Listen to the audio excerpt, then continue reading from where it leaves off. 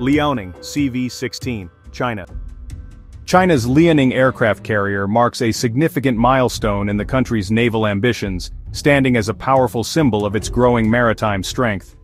Originally built as the Soviet carrier Varyag, the Liaoning was purchased by China and extensively refurbished to become its first operational aircraft carrier.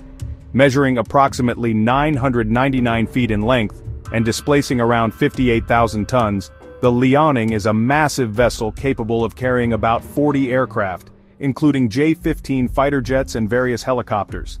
One of the most intriguing features of the Liaoning is its ski jump flight deck, which allows aircraft to take off without catapults, relying on speed and angle to launch. This design choice reflects both its Soviet origins and China's evolving carrier technology.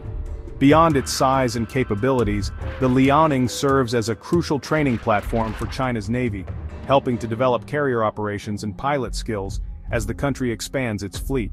The ship's presence has shifted the balance of naval power in the Asia-Pacific region, signaling China's intent to protect its interests far beyond its shores. As the first step in a rapidly growing carrier program, the Liaoning represents both a technological achievement and a strategic statement. It's not just a ship, it's a floating base of power that demonstrates how China is transforming itself into a major naval force on the global stage.